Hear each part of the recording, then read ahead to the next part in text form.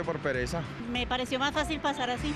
Sí, pero es que no hay que, como me dijeron que tenía que hacer las cosas de afán, entonces... No, ahorita no hay tantos carros y nosotros siempre esperamos que esté desocupado. La verdad no me gusta caminar por los andenes, no hay por dónde caminar. Las ciclas, las motos, todo ya es por el andén. Prefiero caminar por acá. La verdad es que nosotros vamos a hacer un mandado acá, para que le hemos hecho mentiras, sí. Venimos del centro de salud. Necesitamos puentes más seguidos, porque si el bus me deja acá y el puente queda allá y voy tarde para el trabajo, entonces me toca esperar.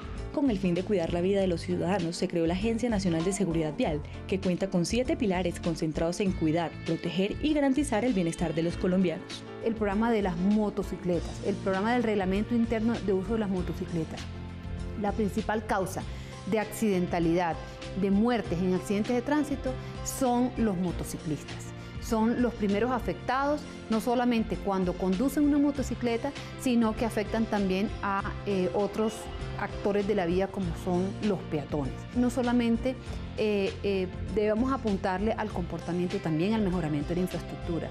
Y vemos, por ejemplo, que la construcción de dobles calzadas reducen fundamentalmente la accidentalidad en aquellas vías donde se presentan. Con la puesta en marcha de la Agencia Nacional de Seguridad Vial, Salvemos Vidas en la Vía, el Gobierno Nacional busca bajar los índices de accidentabilidad que se registran en todo el territorio nacional.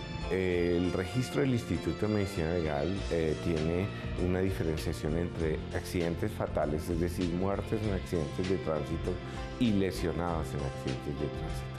Las lesiones en, en accidente de tránsito el año pasado estaban sobre la cifra de 40.163 lesionados y las muertes en accidentes de tránsito corresponden a una cifra de 6.160